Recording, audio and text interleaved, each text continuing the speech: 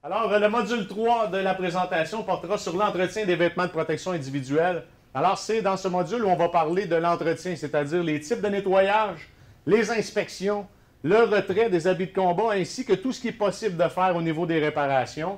Il y a beaucoup de nouveautés. Par contre, c'est des éléments que vous êtes en mesure de mettre en place.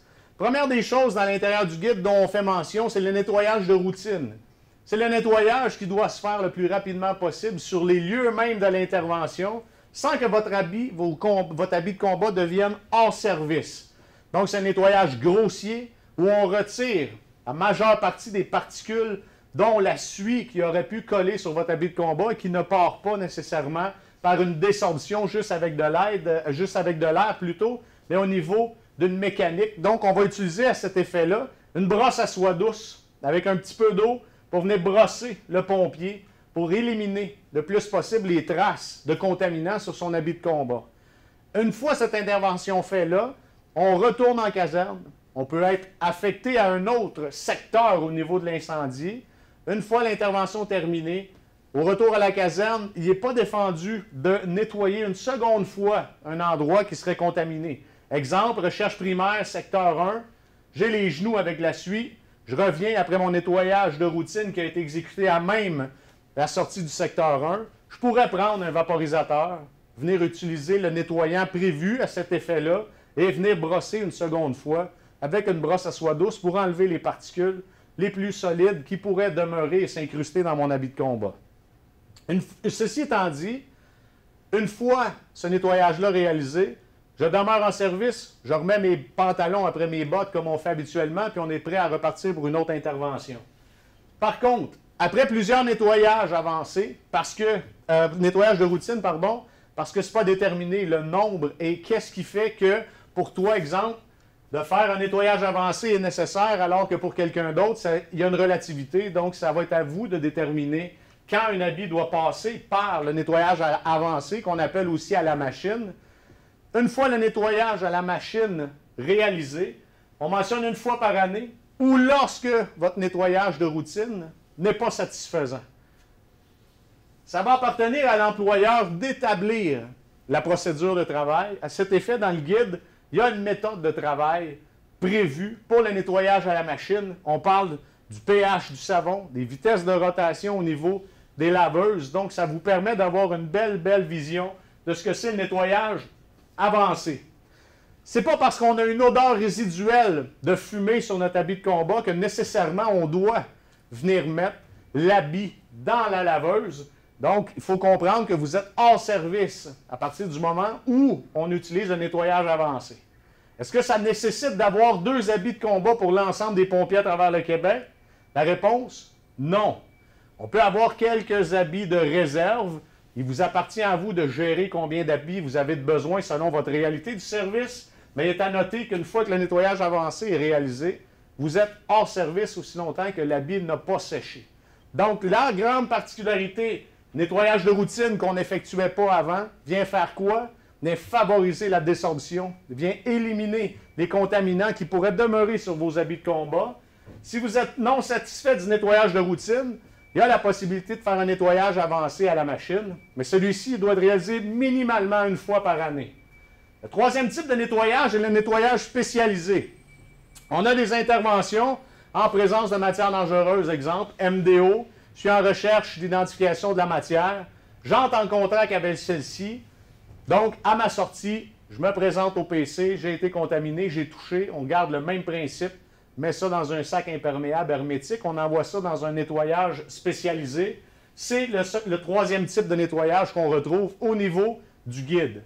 Donc, trois nettoyages prévus, routine, à la machine et spécialisé. Je vous répète, le nettoyage de routine est celui qu'on doit mettre en branle le plus rapidement pour éviter contamination croisée et retirer le plus rapidement possible les particules solides sur l'habit de combat. On a parlé d'entrée de jeu au module 1 L'inspection de routine, ce n'est pas quelque chose de commun. Donc, c'est important pour vous de sensibiliser les pompiers sur l'inspection de routine. À la fin du guide en annexe, il y a un tableau sur qu'est-ce qu'on doit inspecter pour chacun des habits. Chacun des vêtements plutôt. La cagoule, le casque, les gants, les bottes, ainsi que le bunker au complet. On devrait faire l'inspection de routine une fois qu'on reçoit un équipement neuf. Donc, l'inspection de routine vous appartient à vous en tant que pompier. Ce n'est pas la responsabilité de qui que ce soit, c'est le vôtre, c'est vous qui travaillez avec l'équipement. On parle au moins une fois par mois, donc ce sont des critères. Si une fois par mois ne peut pas être réalisé, c'est après chaque utilisation. J'ai une pratique, j'ai un entraînement en caserne, je vais faire mon nettoyage de routine par la suite. Un coup que mon nettoyage a été fait, je vais faire mon inspection de routine avant de remettre mon habit en état de service. Et finalement, on a parlé tantôt du nettoyage avancé. Lorsque ton habit de combat est mis hors service parce qu'il sort du lavage, mais on utilise un habit de réserve. Mais quand vous allez avoir un habit de réserve, il vous appartient à vous d'en faire l'inspection avant même d'enfiler l'habit de combat pour aller intervenir. Il y a une chose qui est essentielle, c'est l'inspection avancée de chacun des habits de combat que vous avez au sein du service. Ça inclut ceux qui sont en service et les habits de réserve. On doit au moins une fois par année faire inspecter l'habit de combat par une personne compétente et qualifiée. Donc, on parle de l'inspection des barrières anti-humidité et des barrières thermiques. Donc, couche extérieure, couche intérieure de l'habit de combat. Et trois ans après la date de fabrication, pas la date dont vous avez pris possession de l'habit, mais vraiment la date d'identification derrière au collet de votre habit de combat, s'ajoute une évaluation des barrières hydrostatiques. Donc, une évaluation hydrostatique plutôt des barrières anti-humidité, trois ans après la date de fabrication et par la suite à tous les ans. Donc, c'est récurrent.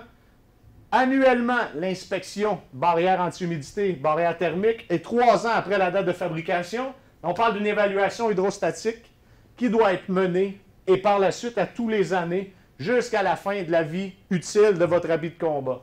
Donc, cette inspection-là, ce n'est pas quelque chose qui est très répandu, très populaire, donc il faut mettre ça en branle. Et je vous répète, il y a des frais récurrents, donc c'est important pour vous de vous assurer que vos habits de combat sont conformes aux exigences du manufacturier. Ce qui m'amène à vous parler de ceci, on va parler des réparations. Dans le guide, on énumère les réparations de base, ce qui vous est permis de faire par une personne qualifiée obtenant euh, les certifications nécessaires par les manufacturiers pour réaliser quelques réparations sur vos habits de combat à même la caserne. Par contre, tout ce qui n'est pas énuméré dans le guide demande de retourner au manufacturier votre habit de combat pour que celui-ci puisse nécessairement en faire la réparation. Et finalement, le fameux retrait des habits de combat, discussion qu'on a depuis euh, de belles lurettes, depuis plusieurs années, L'habit de combat appartient nécessairement à l'employeur, c'est-à-dire qu'il appartient au service de sécurité incendie de mettre en place des programmes de vérification. Quand on parle de programme de vérification, on parle de avancée sur chacun des habits. Donc, la certification annuelle, l'évaluation hydrostatique, des couches anti, euh, la barrière anti-humidité pour s'assurer que vos habits de combat respectent les specs prévu par le manufacturier et qui rend compte les exigences nécessaires à son utilisation. Donc, la date de 10 ans est une date qu'on connaît. Par contre, le fameux 10 ans, c'est à partir du moment où on fait tout ce qui est en amont avant d'arriver aux 10 ans. Donc, l'inspection annuelle doit être faite, ce qu'on appelle l'inspection avancée, ainsi que régulièrement les petites réparations pour en arriver à peut-être atteindre un fameux 10 ans avec les habits de combat. Si on ne fait pas les inspections avancées, la date de 10 ans, est vraiment pas bonne. Pourquoi? Parce qu'il peut y avoir énormément de choses à réparer sur votre habit de combat, ne serait-ce que les couches internes, donc barrières anti-humidité. C'est nécessaire pour vous vous assurer que les habits de combat respectent les standards. Et c'est la loi en santé et sécurité, article 51.7, qui vous l'oblige.